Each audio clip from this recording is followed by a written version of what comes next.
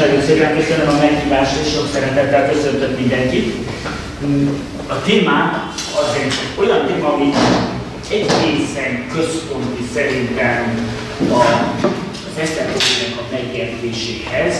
Eszter könyvét, hogyha napjainkban írták volna, akkor azt valójában nem könyvnek írták volna meg, hanem egy, egy sorozatként csinálták volna meg, és, és olyasmi lett volna, mint a kártyavár, a House of Cards, vagy mint az elnök emberei. Tehát egy olyan típusú politikai történetet mesél el, amelyben ügyeskedés van, manipuláció van, erotika van, és ezt szeretném bemutatni, hogy ez hogyan épül fel. Ugye először is a, a, nagyon sokszor azt szokták gondolni, hogy a vallásos irodalomban és vallásos művészetben a prüdéria uralkodik, és nincs benne erotika. Tévképzet. Másik tévképzet az az, hogy a zsidó hagyományban nincsen emberábrázolás. Ugye ezt tényleg csak az gondolhatja, aki még nem látott zsidó késziratokat. Tele van emberábrázolással. Az, tényleg a zsidó hagyomány történet az ókorban Persze, nem olyan domináns, mint a kereszténységben. Persze, ritkább, még ha nem is, nem is azt mondom, hogy nincsen a zsinagógában, de ritkább, mint ahol ezek keresztény templomban elfogadott. De például, hogy mennyire van erotikus ábrázolás, ember ábrázolás és erotikus ábrázolás is, erre kitűnő példa a Ruzsini szidur. Uh-huh. Ezért csókolom egy szidur, azaz zsidó imakönyvet látunk, amiben meg tudja, ki tudja valaki találni, hogy kinek, ki ez a pucér az illusztráció. Ez a Li, az a szexdémon, akitől nagyon félünk, különösen mi férfiak, és ő bizony itt megjelenik eh, a maga teljes valójában. Nem csak a zsidók azok a középkorban, akik nem bűnök. A keresztények sem Például, ez egy olyan középkori kézirat, a 13. századi eh, úgynevezett Biblia Moralizének az egyik kiadása, amely a bűnbeeséssel foglalkozik, és a szájukkal bűn elkövető első embertár, de eredeti jelentés a szájukkal való bűnözésnek ez az egész, de így allegórikus értelmezést kap, és ez a testi bűnöknek a szimbólumává vált. A felső sarokban ott láthatunk összebújó párokat ördöggel, és meg tudja valaki mondani esetleg, hogy ott mi történik. Kik, kik bűnöznek ott, ki kivel bűnözik. Tessék tippelni. Nem? Férfi a férfi. Ez az, pontosan. Tehát látunk két csókolózó szerzetes, akik, akik éppen összebújnak, és felette pedig két hölgy, aki összebújik, tehát megjelenik ott egy kifejezetten szexuális, még pedig tiltott szexuális aktus, nem véletlenül oda helyezik ugye az ördögöt föléjük, és, e, e, és valószínűnek tarthatjuk az ilyen típusú ábrázolások alapján, hogy itt több elképzelése volt az illusztrátornak arról, hogy két férfi mit csinál egymással, mint arról, hogy két nő, ugyanis ez is egy leszbikus aktusnak az ábrázolása, egy orvosi eh, kézikönyvből, amely elég szókimondóan ábrázolja az aktus, de ugye van olyan, ami, ami, amit azért nem, nem, mondhat, eh, nem mondhat ki. Tehát és azt ugye eltakarja. Nagyon gyakran egyébként, bocsánat, ezt rosszul mondtam, a fejfedőből ítélve itt egy férfi egy nő, és a előzőben csak a két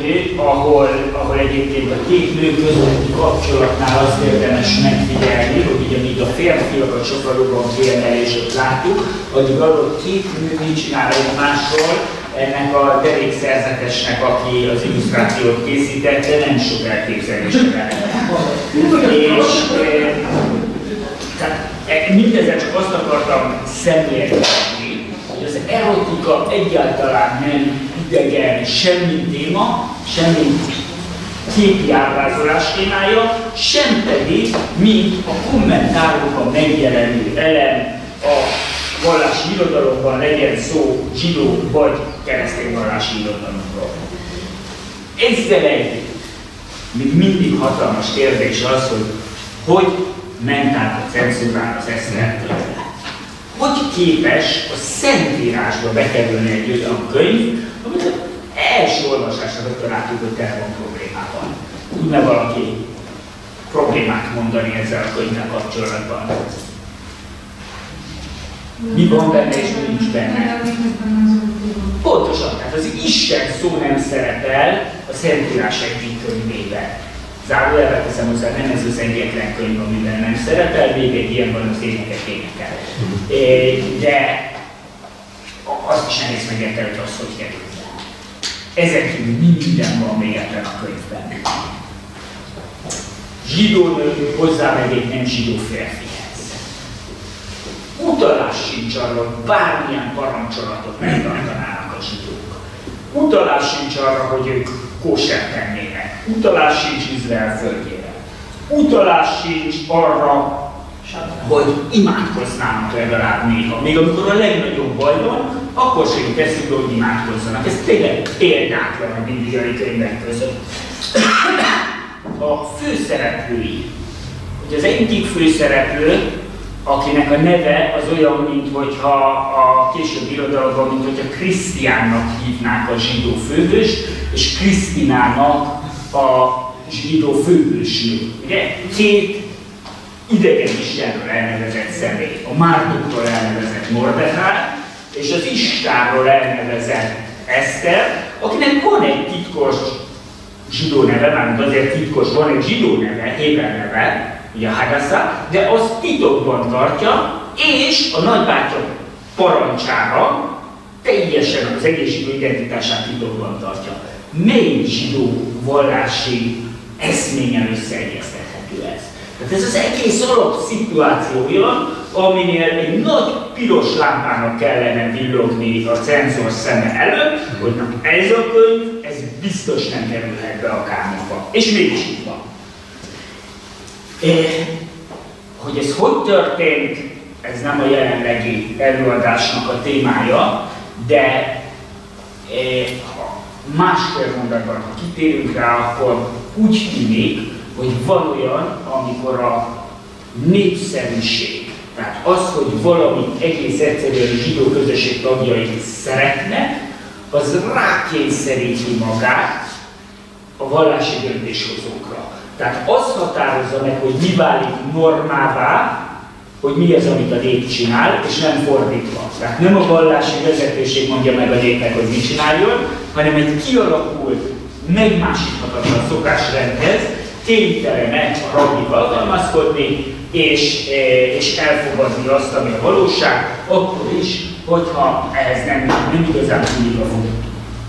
Az Eszter könyv egy olyan tipikus keleti diktatúrát ír le, ahol minden alapvalónak az élete, a sorsa, eh, az uralkodó hatalmától függ.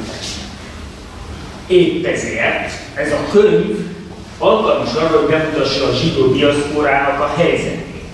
A zsidóknak a szuverenitási teljes hiányában kell megtalálni a politikai, és ebben az esetben, az könyvében a fizikai túlélésnek is a stratégiáját, hiszen nem csak arról van szó, hogy zsidó ellenes törvények vannak, hanem arról is szó van, hogy szokás szerint ki akarják írtani fizikailag is a zsidó népen. Az, a foglalkozik ez a könyv, hogy hogyan túlélni egy nem zsidó közegben, hogyan lehet a nem zsidó hatalomnál érvényre juttatni az érdekeinket a túlélés, eh, túlélés érdekében. Ez az egész Eszter könyve két szélsőséges állapot között ingadozik. Az egyik, az egyik állapot az az, amikor, amikor szétküldik a leveleket, Hámán cselszövésre folytán, amiben közhírré hogy a zsidókat retorzió nélkül meg lehet ölni. És a másik pedig az, amikor Eszter könyvének a végén, hat fejezet telik el közötte, összegyűlnek a zsidók az összes városban, és most már királyi felhatalmazással meg tudják védeni magukat, és ekkor jön az, hogy akik rá, rájuk támadnak, azokat el tudják pusztítani. Itt azt látjuk, hogy ugye a teljes depresszióba sírt zsidóság, kész, végül elpusztulunk, megváltozott, egy év alatt teljesen megváltozott helyzetben, most már tőlük félnek az ellenségek. Mindez hogyan történik meg? Ja, az első fejezete ennek a könyvnek egy mulatságba víz bele bennünket. Azzal kezdődik, közvédik, hogy e, e, akik első szerszéssel szoktak azonosítani azok a kutatók, akik azt gondolják, hogy van ennek a könyvnek valamiféle történelmi alapja, hmm, hát nem mondom, hogy nem sokan vannak, azért a többség azt gondolja, hogy pusztán fikcióval állunk szemben, és, eh, és ez valamikor a polgári időszámítás előtti 5. században zajlik. Az biztos, hogy eh, hogy egy olyan korszakban vagyunk, amikor lerombolták már, tehát a szentély pusztulása után, Izrael földjén, Judeában nincsen önálló zsidó állam, és a zsidók ki vannak szolgáltatva a korabeli nagyhatalomnak, és, minden, és a birodalom számos városában élnek, de, de mindenhol ugyanannak az uralkodónak a fennhatósága alá tartoznak. Ugye ez az Ahasveros, aki hát az Eszter könyvében nehéz megítélni, hogy ő, ő milyen szerepet tölt be. Igazából egy ilyen, hát többé-kevésbé ügyetlenke, nem különösebben erős figurának tűnik, aki maga a király. Ugye azzal, azzal kezdődik, hogy valami miatt a korabeli világ legnagyobb ura szükségesnek érzi azt, hogy az egész katonai és politikai elitjét lefoglalja egy fél éves partival. Tehát akkor a csak, ahol mindenkinek ott kell lenni, és fél évig tart. Tehát vajon miért jut ez az eszébe? É, mi lehet a célja? Vajon az, hogy a hatalmát demonstrálja, vagy pedig az, hogy elrejtse azt, hogy azért uralkodóként még nem nagyon voltak eredményei. Talán hogy ez a har uralkodásának harmadik évében csinálja. Lehet, hogy ott nincsen négy év múlva jön a választás, de talán ugye három év mégis csak eltelt, és valamit már illene felmutatni, és lehet, hogy nem tud más kitalálni. Minden esetre eh, a, a mulatság hevében történik a következő, következő jelenet, amikor már véget ért a fél éves mulatság, és utána a kiválasztottakat meghívja egy egyhetes afterpartira. Tehát tényleg igazi afterparty, vége a nagy bulinak, és most már csak azok maradhatnak, akik a szűk körbe tartoznak. A hetedik napon a királynak jó kedve támadt a bortól, és megparancsolta a hét udvari embernek, akik a hasonlós király személye körül teljesítettek szolgálatot, hogy vezessék be Vasi királynét, a király elé király koronával a fején. Meg akarta mutatni a népnek és a vezető embereknek, hogy milyen szép, mert szép alakja volt. De Vasi királyné nem volt hajlandó bemenni a királynak az udvari emberek által küldött parancsára. Ezen nagyon felháborodott a király, és volt benne a harag. Ki hogy érti ezt a szöveget? Mi az, ami kiderül belőle, és ki, mi az, ami, ami nem derül ki belőle?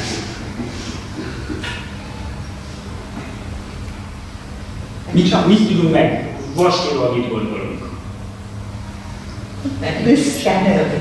Büszkenő. Nem véletlenül Vas válik a 20. században a feminista értelmezők egyik hősége. Tehát aki ugye meri azt mondani, hogy nem. Vajon miért nem?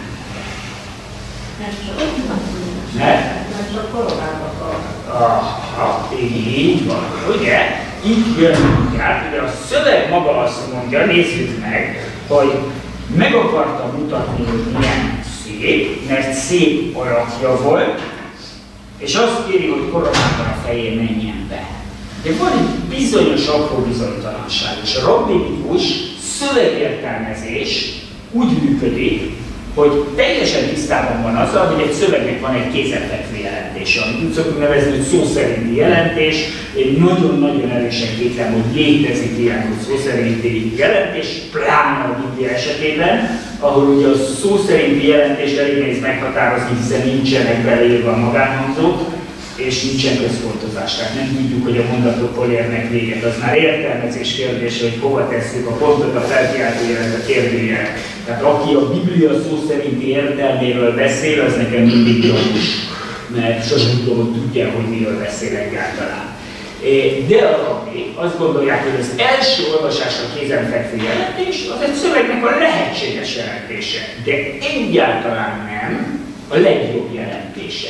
Tehát nincs bennünk az a fajta igény, ami a 19. századtól kezdve kialakul a nyugati ember, hogy ragaszkodunk ahhoz az elképzeléshez, hogy a szöveg valójában azt jelenti, amit első olvasásra jelent, és minden más az csak belmagyarázás, és akkor ezért születik meg többek között a, mondjuk a mágikus realizmus, mint irodalmi műfaj, ahol direkt megszüntetik a szövegnek az elsődleges jelentését. Tehát, hogyha ez valaki fantázia nélkül olvassa a mágikus realizmusnak a könyvét, az egyszerűen nem tud vele mit kezdeni, mert, mert világos, hogy nincsen kézenfekvő jelentés, hanem csak úgy érti meg az ember az üzenetét, hogyha képes elkezdeni számolni a szerzőnek a, a fantáziájával. Ugyanez igaz a rabinikus értelmezésre, ha van valami icipici jel, ami arra utal, hogy lehet máshogy érteni a szöveget, mint amit első olvasásra sugal, akkor a rabbit lecsapni kell. Épp ezért jön a következő rabinikus forrás. Lehet nyugodtan kérdezni a kérdést, van bármikor. Igen. Megmondom, én olyasmit olvastam, hogy a király, a királynő Vaslisztól azt kérte, hogy a főemberei előtt mesztelen... Hagyj menjünk a, hagyj a szöveget, igen. Igen, pontosan. És Imán Mesztel nem voltunk megjelenni. Pont, pontosan erről, erről lesz szó, azt nézzük a, a, a szöveget. Ugye itt jön a rabbinikus értelmezés, amelyik azt mondja, hogy a lakoma résztvevői között voltak, akik azt mondták, a a legszebbek, és voltak, akik azt mondták, a perzsa a legszebbek. Az az ostoba, a Hásvéros, azt mondta neki, az edény, amit az az ember használ, ugye önmagáról harmadik személyben beszél, és a feleségét hasonlítja az edényhez, se nem még se nem persa, hanem kárdeus. Akarjátok-e látni? Azt jelenti, igen, de legyen mesztelen. Azt mondta már neki, jöjjön mesztelen. Yeah. Tehát mi szülte ezt a látszólag valóságtól és a szöveg eredeti értelmétől elrugaszkodott értelmezés, az, hogy tényleg az szerepel a szövegben, hogy vezessék a királynét a király elé király koronával a fején. Minek kéne itt állni, hogy ne lehessen így értelmezhető, ami egy teljesen jogos olvasat, vagy jogos elvárás lenne a szövegben. Jön, teljes, királynői pompájában és koronájával a fején. Hiszen arról szól, hogy az egész tulajdonképpen, az egész parti arról szól, hogy a király megmutassa, hogy ő mennyire gazdag, és milyen sok kincse van. És akkor ebben a kontextusban persze, hogy a gyönyörű Bíbor Balázsban érkező nagy koronával a fején a feleség, az lenne, aki meg akar igazából mutatni, a legdrágább kincse, de rögtön látjuk, hogy hát itt egy, egy, egy, egy hát egy elég volt kandulira hasonlít itt, ami történik, ahol e, nincsenek ezen a bulin, a fiúk iszogatnak, és akkor elkezdik azt, hogy melyik mű a. És nem is annyira, ugye, hogyha megnézzünk egy manapság egy ganguli, viszonylag gyorsan előkerülnek a mobiltelefonok, és kiki elkezd a másiknak képeket mutogatni, dicsekedve. Itt gyakorlatilag ugyanezt történik, hogy a technikai felkészültség, meg a technikai lehetőségek változtak, de alapvetően itt tényleg arról van szó, hogy én ezt mindig szoktam mondani, hogy én nagyon sokáig azt hittem, hogy ez egy teljesen valóságtól elrugaszkodott kép, melyik uralkodó csinál ilyet, hogy behozatja a feleségét. Egészen addig, amíg a George Dubinek a New York középkorban című könyvében nem olvastam, hogy a keresztény középkorban pünkös ünnepének a lovak királyoknál is még létező szokása volt az, hogy bizony berendelték a királynőt, és a királynőnek végig kellett a csorgonyáló lovagok előtt mesztelenül sétálni az asztalon, és ez volt a bulinak a fénypontja.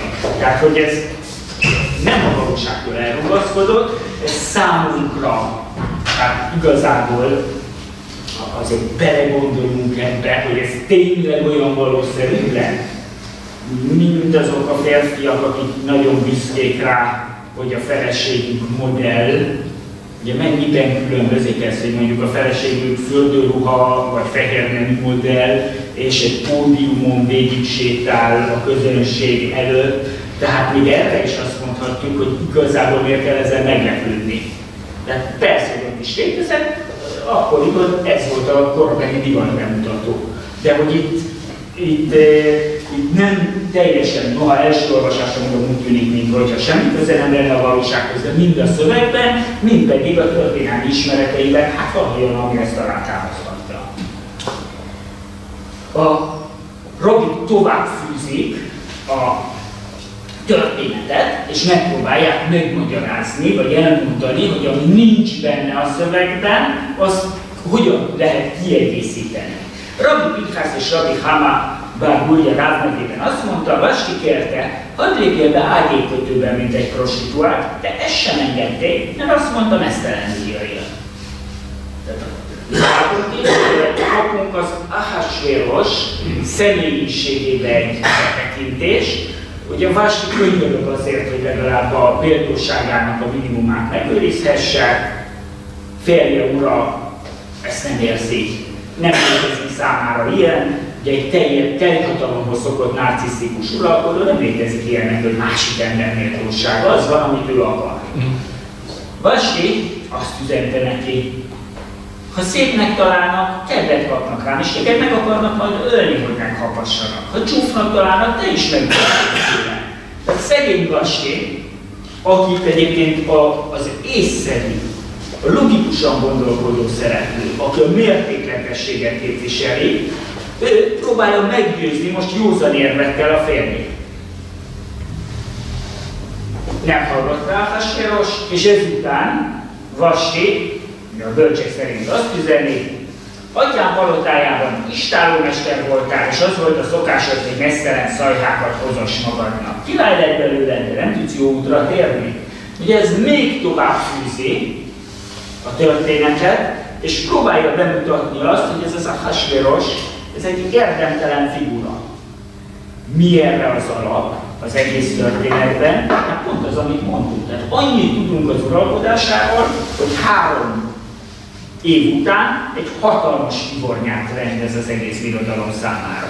Tehát itt is van valami, ami azt indikálja, hogy azért nem mesél róla semmit a történet, mert egy alapvetően érdemtelen figura, és ezt egészíti ki a midrás, a rabinikus olvasat azzal, hogy megmutatja nekik, mennyire érdemtelen figura. Ezt követően a ezt követően bemutatja a szöveg Mordechájt.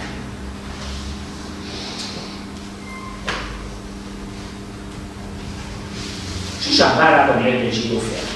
Mordechájt hívták. Gyámatja volt Hadasszának, más néven Eszternek. Ja, itt látjuk Hadasszát, tehát látjuk, hogy van neki zsidó neve, éppen csak nem használja. Szép termete volt és bánis arca, szülei halála után Mordechai lányává fogadta Esztert is elvitték a királyi palotába, és Hegárnak bízták az asszonyok ügyvével. ugye mi az előzménye, rosszul viseli az Ahasvéros, hogy a felesége ellentmond neki, zavarba jön egyébként a történet szerint, nem tudja, mit csináljon, és szerencsére ott van az egyik tanácsadó, aki amikor észreveszi, hogy a király zavarban van, akkor lecsap a lehetőségre, és azt mondja, hogy most muszáj valamit lépned, mert nem csak téged sértett meg a királyné, hanem ha te ezt megtorlás nélkül hagyod, akkor ebből azt a következtetést fogja levonni a birodalom összes felesége, hogy mindenki szabadon lázadhat a férje ellen. Ez egy nagyon ügyes tanács a némiképpen bűnült Ahasvérosnak. Nem arról van szó, hogy ő megszégyenítette a feleséget, nem hajlandó engedelmeskedni neki, hanem itt egy hatalmas jelentőségű politikai ügyről van szó. Tehát hirtelen a birodalom összes férfiát a tanács maga mögé állítja. De ez is nagyon fontos az Ahasverosban. Szegénynek eszébe jut magától? Nem, de hogy arra van szüksége, hogy az egyik tanácsadója, az udvaron, az SS udvaron azt mondja neki, hogy figyelj, itt ebből valami pozitívat ki tudunk hozni. Ugye hányszor látunk olyat napjai politikájában, amikor valamiféle vezetői válság van, és mindent meg kell tenni azért, hogy egy szemmel láthatóan, nagyon erősen elszúrt dologból a politikai hatalom erényt tudjon kovácsolni. És megmutassa, hogy itt valójában nem arról van szó, amit láttok, amit mindenki lát, hogy elszúrtunk valamit, hanem arról van szó, hogy ez egy nagyon jól átgondolt és fontos a nemzetvédelmében lépéseket követelő probléma. És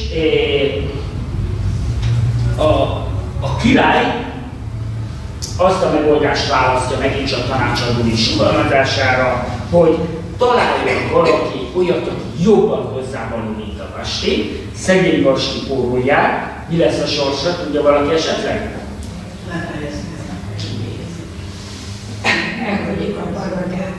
Így van, az a helyes válasz. Tehát örök örök fogságra, örök özvegységre ítélik, meghagyják az életét. Mennyivel rosszabb az, onnantól kezdve életfogytiglani börtön. Gyakorlatilag soha nem léphet ki, és eltávolítva, teljes hatalmát elveszítve él valamelyik, a palota valamelyik sarok szobájában bezárva. Hmm. A király pedig, hát ugye azt gondolja, hogy a legjobb megoldás arra, hogy új, új, új mm, feleséget találjon, hogy a birodalom minden városából összegyűjtik neki a legszebb szüzeket, ő mindegyiket kipróbálja, és amelyik majd megfelel neki, azt megtartja.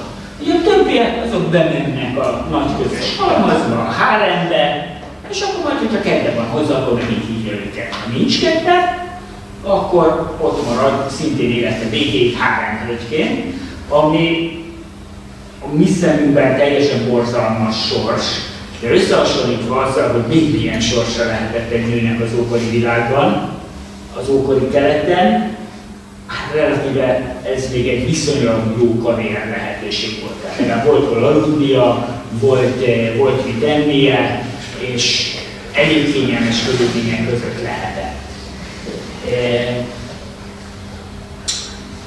Mindez nagyon jól érezheti azt, hogy a királynál egyetlen éjszaka dönti el valakinek a sorsát, és a király egyáltalán nem zavartatja magát ettől. Tehát az első éjszaka az az egy esély van, amit megkap a három, hárombe bekerülő hölgy. Ha nem nyeri meg igazán a király tetszését, akkor többi közé. Na ez az a helyzet, amikor ugye Mordechai és Eszter belépnek a képbe. Eszter begyűjtik, elvitték a királyi palotába, és Hegályra bízták, Hegályra bízták az asszonyok ülére.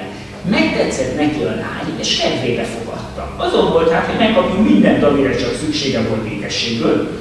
Az asszonyok házának legjobb részében jelölt neki helyet, mivel kötötte neki, Eszter nem árult el sem népét, sem származását. Mi ebben a történetben most nagyon érdekes, mi történik itt? Eszter bekerül a hárembe, és mit csinál? hogyan tudjuk lefordítani ezt, ami történik. Megtagadja az identitását. Igen, tehát ugye titokban tartja az identitását, de szempontból mi történik? Beépülíti. Aha, aha, tehát hogy megtalálja azt, aki a leghasznosabb szövetséges, és megtalálja azt, hogy az érdekek hol találkoznak. Ugye a az az érdeke, hogy elégedett legyen vele az uralkodó. Eszternek az az érdeke, hogy ne egy egyszer használatos háremhölgy legyen, hanem ő legyen a király. És akkor megtalálja azt az embert, aki irányítja a háremnek a dolgait, és ők ketten kötnek egy politikai érdekszövetséget, és Eszter ezt az érdekszövetséget kihasználva akar érvényesülni. Amikor a királyhoz ment, mindent kérhetett, amit akart, megadták neki. Azzal léphetett be az asszonyok házából, a királyi palotába. Amikor elérkezett az ideje, és rákerült a sor, hogy Eszter bemenjen a királyhoz, nem kért semmi más, csak amit Hadály, a király elmúltja ajánlott neki. Eszter megnyerte mindenkinek a tetszését, aki csak látta. Ha ez egy sorozat lenne, akkor ez lenne az az epizód, ahol azt mutatnák be, ahogy az Eszter talál egyre több szövetséges, és mögötte áll a gondolkodó figura, aki ismeri már a palotában a praktikákat, a, a mastermind, aki eltervezi azt, hogy az ő kedvence a három hölgyek közül majd az lesz a királynő, és akkor rögtön meg fog térülni a befektetett energia.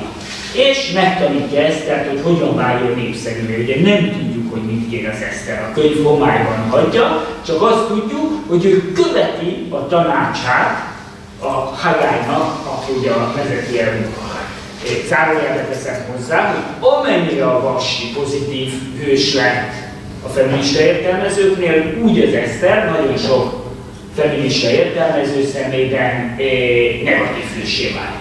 Miért? Így van, így van, mert hogy tulajdonképpen csak a patriarchális hatalomnak a kiszolgálója.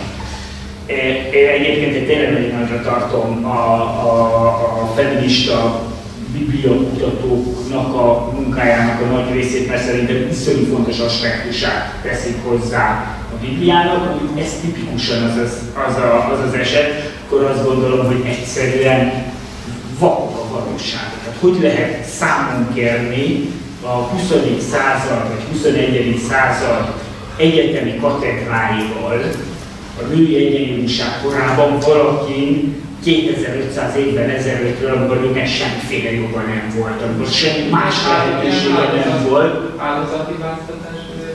Igen, szerintem pont, így van, tehát hogy szerintem pont, pont a feminista kritika követi el az általában, eh, általában ellenzett áldozat hibáztatásnak, ami mi másnak lehet látni szerencsétlen Eszter, árvalány, és örökbe fogadják, erre, hát igen, mondjuk a, Mordehájnak azért az úgy tűnik, bár nem mond arra semmit a szöveg, hogy ő ellenkezette, vagy próbálta elrejteni, de azért ott úgy tűnik, hogy, hogy hát nem, nem nagyon van más választása.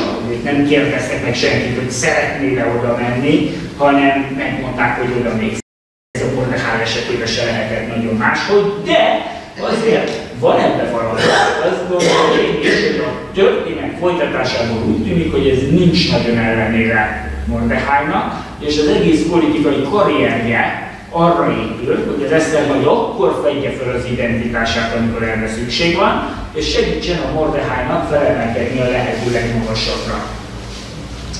Na mi történik? Tehát Eszter megnyerte mindenki a tetszését, aki csak látta, a király megkedvelte Esztert jobban, mint a többi asszony, megnyerte tetszését, és rokon szemét jobban, mint a többi lány. Király koronát tett Eszter fejére, és Vasti helyébe királynévá választotta. Eszter ugyanúgy követte Mordechai utasításait, mint abban az időben, amikor még a gyámja volt. Mordechai azokban a napokban a király kapunán ült, és értesült róla, hogy két királyi emló, diktátus neves, a palota őrei haragukban összeesküdtek, hogy kezet emelnek a királyra. Amikor Mordechai megtudta a dolgot, jelentette Eszter királynénak, Eszter meg Mordechai nevében beszélt a királlyal, kivizsgálták az ügyet és igaznak találták a dolgot, a két emló bitófára került, Aztán a dolgot bejegyezték a király jelenlétében az események könyvébe. Itt mi történik? Itt is van egy nagyon érdekes hatalmi játék ebben a történetben. Mordecai azt is megtehetné, ugye eleve. Itt, itt a Mordecai-nak a politikai szerepe is érdekes. Tulajdonképpen mi baja van azzal, hogy eltegyék lábalól az Ahasveros? Annyira szereti, elvette a fogadott lányát, szemmel láthatóan egy, egy kényúr. Mi, mi baj van azzal? Mi lehet? a kényúr Tessék? Ő szeretne a kényúr. Hát hogy valami Ha a király elveszik lábalól az ő hatalma, megszűnik. Vagy ez itt még úgy tűnik, hogy a Mordecai-nak nem sok hatalma van. Nem, hát arra várjuk, hogy Eszter majd elprotezsálja őt. Igen, Igen. tehát- Megvan a király életén, akkor hatalomra teszel. Igen, igen, tehát ugye valószínűleg két tényező lehet. Az egyik az, hogy felméri, felméri azt, hogy most neki nyílik egy olyan lehetőség, mert ha Eszteren keresztül jól helyezkedik, ez egyszerűen ki fog neki fizetni, tényleg ez történik itt. De a másik, ami szerintem szintén egy nagyon-nagyon a hétköznapi életünkből ismert politikai valóságot mutat, hogyha van egy olyan politikai vezető, akit az ember nem kedvel, és mégis arra gondol, hogy két nagyon rossz lehetőség van. Az egyik az, hogy ő marad, a másik lehetőség pedig az, hogy jön helyette egy még rosszabb. Amikor diktatúrában él az ember, akkor nagyon sokszor az a politikai realizmusnak a döntése, hogy azt mondja, ezt a diktátort legalább már ismerem. Semmi nem garantálja, hogy nem egy sokkal-sokkal rosszabb diktátor jön majd utána, és nem még rosszabb helyzetbe kerülünk, mint amibe, amibe kerülnénk. Itt végül is nem akarnak minket megölni, el vagyunk nyomva, de másolat is el lennénk nyomva. Tehát, hogy itt is szerintem látunk egy olyan képet, ami noha az ókorról beszél, mégse teljesen ismeretlen a modern kor embere számára sem, a mi politikai valóságunkra is rezonálhat. Mit mondanak erről a bölcseim? Hogyan szerezte meg? Ugye maga a szöveg szinte semmit nem mond róla, hogy Eszter mitől lett a király kedvence. Na, a talmudi bölcsek, akiktől nem győzöm hangsúlyozni, hogy a prüdéria mennyire távol áll, a következő magyarázatokat adják. Amikor Ahasvéros egy szűz ízére vágyott, azt ízlelte. Amikor egy tapasztalatlan ízére vágyott, azt kapta. Ugye fél évig készült az Eszter erre a, a, az éjszakára, az egyetlen esélyére, és úgy tűnik, hogy a Hagályjal kötött szövetsége, aki az eunuchok vezetője, az egész három vezetője, az többek között arra kellett, hogy minden olyan praktikát megtanuljon, aminek a segítségével megint esélye arra, hogy ő legyen a királynak a választja. És úgy tűnik a bölcsek egy pillanatig nem szégyenlősködnek ezzel kapcsolatban, hanem azt mondják, hogy az Eszter a lehetőségére álló egyetlen, egyetlen e, e, eszközt ragadta meg, ami a nőiséget, mert mit kellett volna csinálnia? Beszélgetett volna az ópersa irodalomról az Ahasvérossal, ezzel a rendkívül intellektuális beállítottságú finom lélekkel? Ez tényleg semmi más. Igen. A másik történet, a másik értelmezés az még tovább megy, még tovább megy ezzel, és azt mondja, miért hasonlították Esztert az őszhöz? Olyan volt, mint az ősz, akinek szűk a méhe, és ezért ugyanannyira kívánatos a társa számára minden órában, mint az első órában volt. Tehát itt ugye azt látjuk, hogy még az anatómiai részletekbe is belemennek bölcsénk annak érdekében, hogy megmagyarázzák ezt a csodát, hogy miért pont az Esztert választja ki az Ahasvéros, és egyáltalán nem ijednek meg attól, hogy erősen erotikus magyarázatokat kell adni. A, és ekkor jön egy hatalmas bonyolítás az egész történeten. Ugye idáig azt gondoljuk, hogy a, a az Ahás, a, a Mordechai és az Eszter közötti viszony világos. Hát olvastuk a szövegben, örökbe fogadta a lányát. Örökbe, lány, lányaként fogadta örökbe a, az unoka testvérének, a, a, vagy a testvérének a gyerekét. Tehát, hogy az történik, állán marad a gyerek, és akkor a legközelebbi rokon magához veszi. És itt jön egy olyan magyarázat, ami egészen váratlan. Apja és anyja halála után Mordechai lányáról, kiderül, Lebát fogadta ő. Ugye ez a szövegnek a szó, szó szerint, hát vagy a szövegnek a kézenfekvő jelentése. Erre azt mondják, ne, ne a lányának szót olvas, hanem feleségének. De látszik, még aki esetleg nem is ismeri a hibelvetőket, látni, hogy nagyon hasonló a két betűsor. Lebeit vagy lebát. Egyetlen egy pici jól, amit ráadásul nagyon sokszor a Biblia nem is írt. Tehát megint van egy olyan magyarázatunk, ami látszólag semmi alapja nincs a szövegben, de ugyanakkor, ha egy pontozatlan szöveget nézek, amiből gyakran kihagynak betűket, könnyű elképzelni, ugye semmiféle nem tudom milyen magánhangzók vannak ott, lehetne az, hogy a rég, azt így is lehetne írni, eh, mint, eh, eh, mint a, a és ez a bájt szó, a házszó az állandó jelleggel szimbóluma a feleségnek is. Mm. Még mi utal erre? Visszamegyünk a szövegben odáig, hogy megnézzük a, a, a bemutatkozást, ugye itt, akkor azt látjuk, hogy a Mordecai, ugye azt mondja, hogy a Mordehainál azt látjuk, hogy ugye lányává fogadta, ami az eredeti kifejezés az, hogy elvette magának lánynak. Miért fontos ez, hogy a amit a for, magyar fordítás azért nem tudja visszaadni, mert magyarul ez elképesztően hülye hangzana, hogy elvette magának lánynak. De mi az, hogyha így olvassuk, ugye így szoktunk elvenni, feleségnek szoktuk elvenni, és nem lánynak, miért kell hozzátenni magának, plusz mi a relevanciája annak, amit itt a szöveg hangsúlyoz, széttermelte, bájos arca, mégse nem az lett volna, akkor a testvérének, a halott testvérének a gyerekét nem fogadja örökbe, hanem erről lett volna. És akkor úgy tűnik, hogy ez hozzájárul ahhoz, hogy megint észrevegyék a bölcsek azt, hogy itt van egy lehetőség nem szó szerint olvasni a szöveget, és ha nem a kézenfekvő értelmet akarjuk olvasni, akkor, eh, akkor, akkor megtesszük, hogy, tehát, hogy a szöveg lehetőséget ad rá, akkor nem ragadunk le a, a kézenfekvő olvasásnál. A zsidó oktatásban ez egy, mármint a rabbinikus eh, zsidó oktatásban ez egyébként egy ilyen alapelv volt. Az, az, hogy valaki jól ismerte a Bibliát, azzal nem lehetett nagyot védítani. Tehát hogy az, az a, a minimum követelmény volt. Ez az egyik legnagyobb változás a zsidó szellemtörténetben, hogy körülbelül a Misna napjai, tehát a polgári időszámítás első két évszázadáig a fő tananyag, az micsoda? Amit akkor még nem tudott tanulni a Talmud. Pontosan.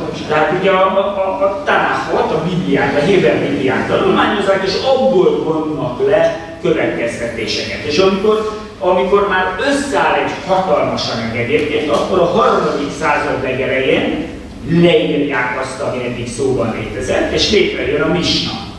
És itt jön egy oktatási forradalom, mi válik a tanulmányoknak fő alapjává innentől kezdve, a misna. És már nem a Bibliát, tehát ez már csak a beugró, hogy valakivel egyáltalán szóba álljanak, hogy a Bibliát nagyon jól ismerje, de igazából az eredmény, az előlegítás az attól függ, hogy a misnát hogyan ismeri.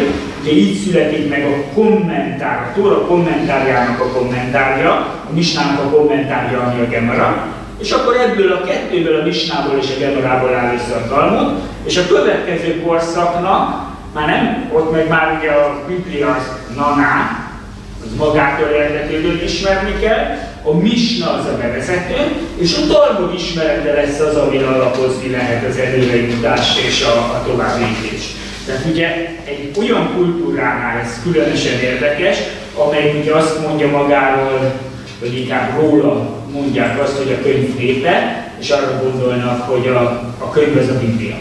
Valójában, tehát ez a könyv kommentárjának, a kommentárjának, a kommentárjának a népe. Tehát, hogy folyamatosan az alapkönyv, az csak valahol egészen alul van. Megnézzük azt, hogy egy átlag ortodox zsidó mit ismer a Bibliából, a mózesi ötkönyvben kívül, plusz azokon a profétai szakaszokon kívül, amiket felolvasnak minden évben egyszer, a haftarákon kívül, amit felolvasnak, hát mondjuk úgy, hogy, eh, hogy hát nem, nem biztos, hogy itt átmenne egy, eh, egy a judaisztika szakon egy bevezetés az írásbeli tanba, eh, kurzusor, és azt meg nagyon remélem, hogy a rabbi szak bevezetés az írásbeli szak tanba kurdusának biztosan megbukna. Egyszerűen nem erre fókuszál a tanulmány, mint ahogy ez ugye eredetileg, hát mindez egykor volt, és ezt egyáltalán kritikaként mondom, mert miért kéne, hogy ugyanott tartson a zsidó oktatás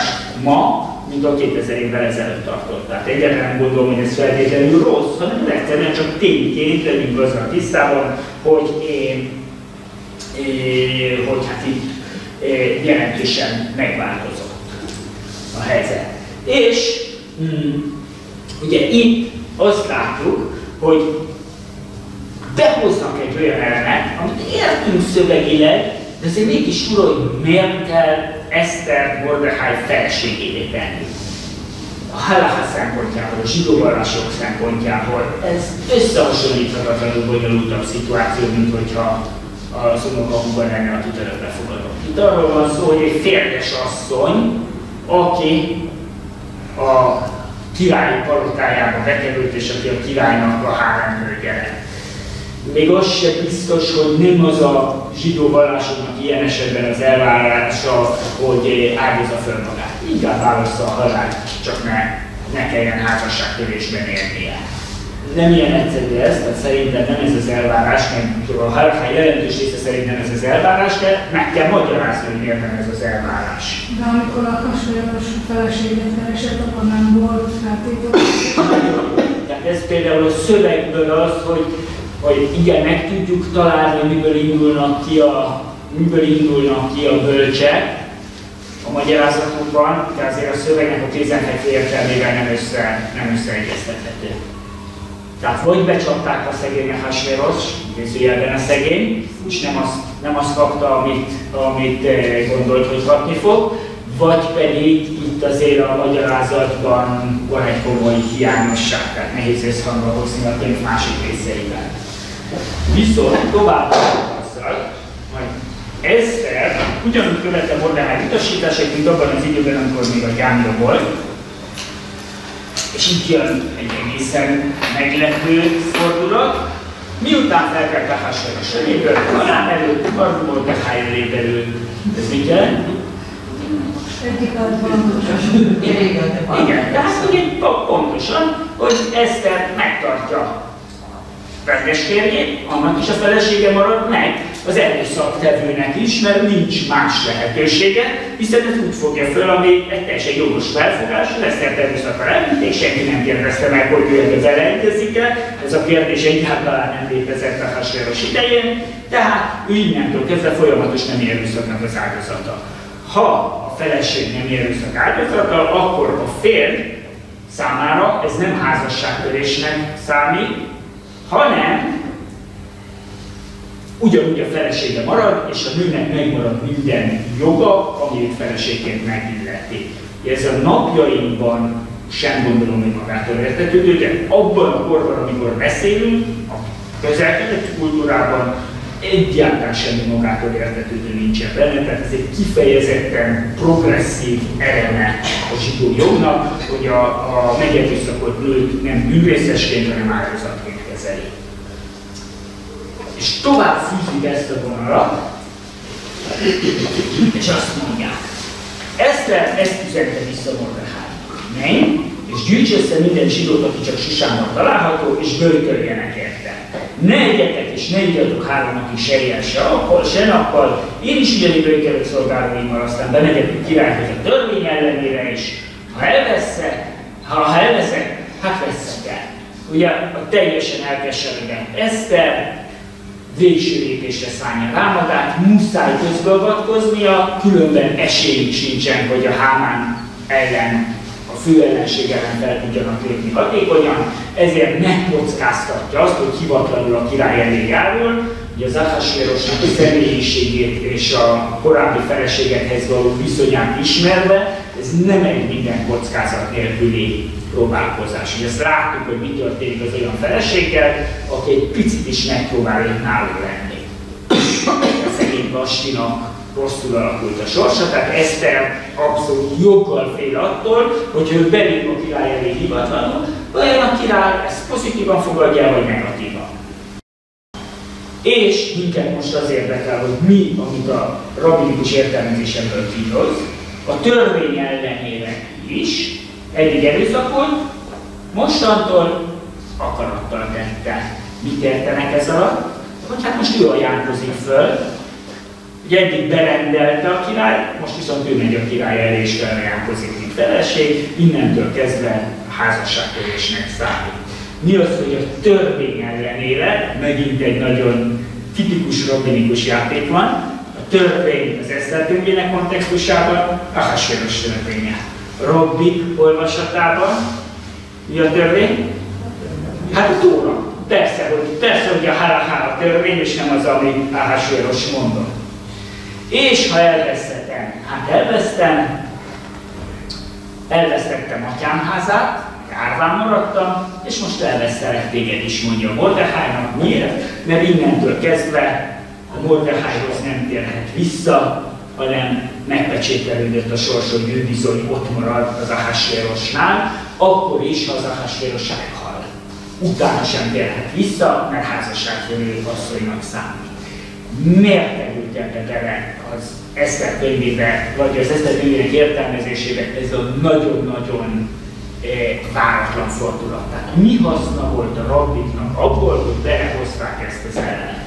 Nem tudjuk, sose fogjuk megtudni, mert nem írták le, de amire gyanakodni lehet, az az, hogy itt találtak egy olyan példát, amikor két nagyon pozitív ős, Mordechai és Eszter, olyan szituációba kerül, amikor egyértelműen példaképé váltak a zsidó nép és ezzel könnyen elképzelhető, hogy a férjeket akarták arra tanítani, hogy ez nem csak egy elméleti szabály, hogy a megerőszakolt feleség, az feleség marad, és arról gondoskodni kell, és ezt vissza kell, vissza kell eh, fogadni, hanem ez egy olyan oktató célú mese, egy olyan tanulság lett, amivel ezt a célt akarták előre mozdítani, hogy minden férnek beívódjon a tudatába, hogy ha én a feleségemet, akit elraboltak, megerőszakoltak és visszaszereztem, kiváltottam, ha én úgy kezelem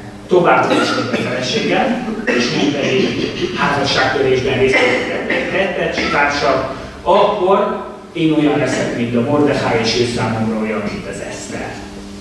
És könnyen lehet, hogy ez a pedagógiai üzenet állt a központjában annak, hogy ezt a magyarázatot választották, ami hát eléggé valószínűtlen, és látszólag az Eszter könyvének a szó szerinti jelentésével egyenesen szembe megy.